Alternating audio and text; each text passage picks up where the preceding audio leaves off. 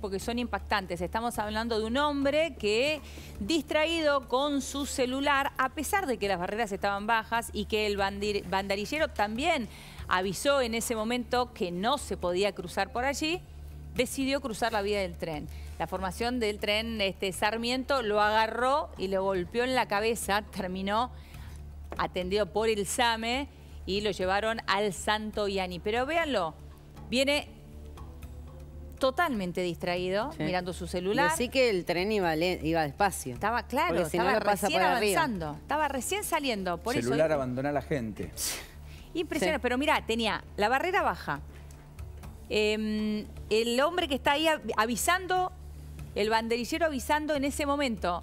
Nada de eso ve. Él sigue para adelante. el celular. Sigue con el celular. Seguramente que alguna señal sonora también la habría. De hecho, eh, no, sé, si alcanzamos a ver si tiene algún tipo de auricular. Eso también es un tema. En la calle no sé si les ha pasado, pero la gente con auriculares y celulares... Yo estoy harto de cruzarme gente que barre una bicicleta y se siente con derecho a pasar, el semáforo esté en blanco, esté en verde o esté en rojo. Las bicicletas son un tema aparte, sí, este, Gente que, que va en monopatín, eh, y que atraviesa la ciudad, digamos, este, en zigzag a los autos, con lo cual vos haces una maniobra sin dar, y te lo llevas puesto porque además más allá de que tenga el casco, vos le pegás al cuerpo. Claro, claro. Bien, monopatín estoy hablando, ¿eh? Sí, patines eléctricos. Sí, obvio. Que en París se prohibieron. Acá no están reglamentados, están incentivados. Te hicieron la bicicenda, qué sé yo, más o menos. Bueno. Pero van por cualquier lado, no van por la bicicenda.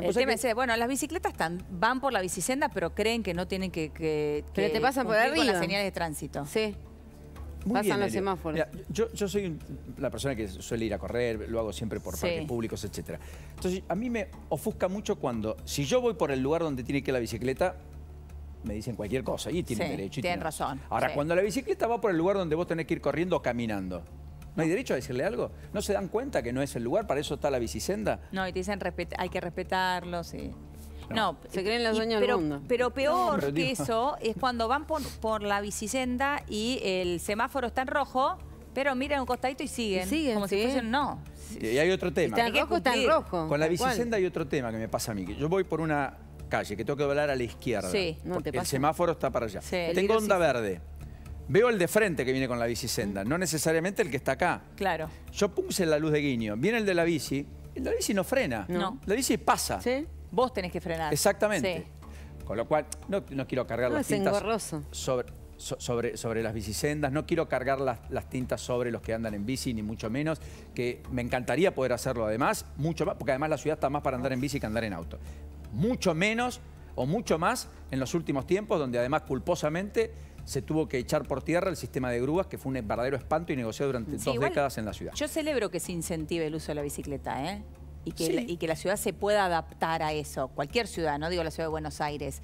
Cuando, si uno tiene la oportunidad de viajar y ve, ves, en, la mayoría de las ciudades se ha adaptado para la bici, pero se cumplen las reglas. La diferencia es esa para mí. Bueno, eh, a ver, yo estuve en Ámsterdam y no se cumple. Te pasan por arriba. Yo le las, las caratulé las bicis asesinas. Pero bueno, en Ámsterdam es, pasan por El, transporte, número uno. Hay más bicicletas que cualquier otro transporte. Es, un caso aparte. Ustedes vieron la serie Borgen, donde se habla desde Dinamarca de cómo llegaba la primer ministro en bicicleta, al Palacio de Gobierno, eh, hace ya unos más, más de 10 años.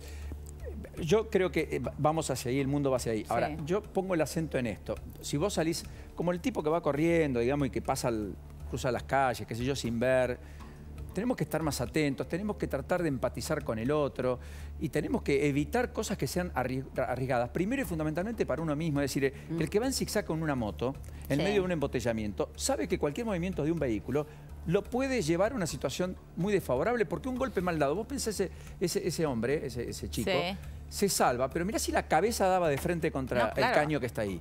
Cuando hace ese impacto. Estamos hablando de qué cosa, de una tragedia pudo haber pasado y estuvo así. A esto. A esto. No larga el celular nunca. Fíjense que sigue con el celular en la mano. En ningún momento larga el celular. Y no, y yo pensaba, el personal del SAM, el personal del Santoyani, todos ocupándose de este hombre. Bueno, por supuesto, hay que hacerlo. el eh, conductor de, ese tren, ¿no? Porque le queda después también el trauma. Porque, porque el hombre siguió mirando el celular, ¿no? Bueno, es un gran tema que al cual tenemos que revisar todo. Yo me incluyo, ¿eh? Estamos todo el día mirando el celular. Sí, una cosa, una cosa adicional es, este, de todas maneras, esto es un aspecto ¿no? de, lo que nos chocamos todo el día, esta idea de meternos para adentro. Nunca la sociedad estuvo tan hiperconectada como hoy y probablemente nunca la sociedad vivenció el nivel de soledad que atraviesan vastos sectores. Bueno, no en los bares, en los restaurantes. No sé si la escucharon a Kane Winslet hablar. Sí, extraordinaria. Y la verdad que eso es el mensaje que hoy, lo hablaba yo con, mi amiga. Repetilo.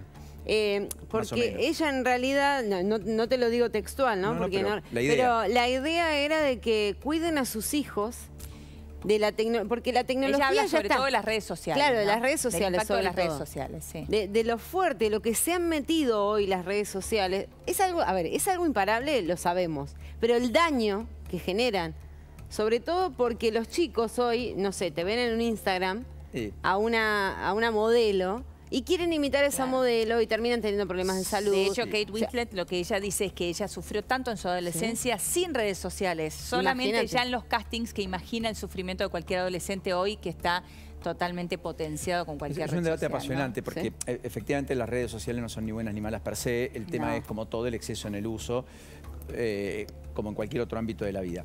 Ahora, dicho sea esto, es muy importante contemplar esta idea del aislamiento que produce la tecnología.